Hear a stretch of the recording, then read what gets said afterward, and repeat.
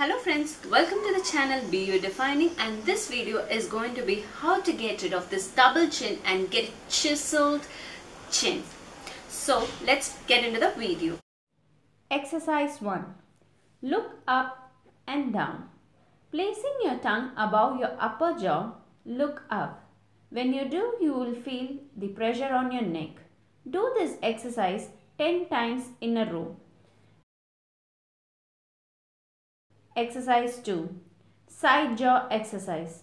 Turn towards your right and move your jaw front and back.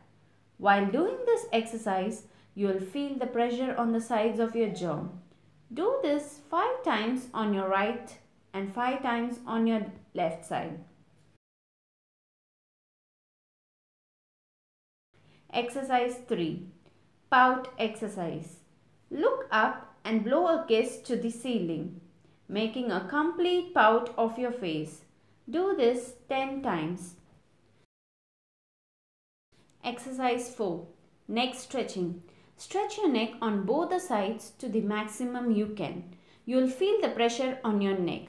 Do this 10 times on each side. Exercise 5. Neck stretching. Holding on your head. Stretch your neck like exercise number 4 with a slight modification by supporting your head with your hands. Hold your neck on each side the maximum you can and then move on to the other side. Exercise 6. Fill air into your mouth. Close your mouth tightly by filling air into it completely. Hold the air as long as you can. This will give you very good results and gently re release the air out. You can feel the pressure on the sides of your chin. Exercise 7. Side air fill. Like exercise number 6, fill air on the sides of your mouth. Play with the air by pushing it to each side. Do this as many times as you can. Exercise 8. Sucking your cheeks inwards. Draw air inward by pulling both the cheek inward and hold it in place. This exercise reduces your chubby cheeks. Exercise 9. Chin resistance. Placing your elbows on the table, place your face on the closed fist. Try to bring your face out while your hands are resisting that action. You will feel the pressure all over your neck and jawline. Do this for 5 times. Exercise 10. Neck rotation. This is very simple and easy exercise.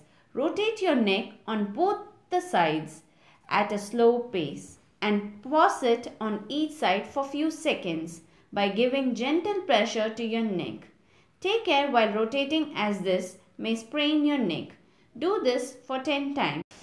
Then always have a smile onto your face. That is the best exercise you can do. Thank you.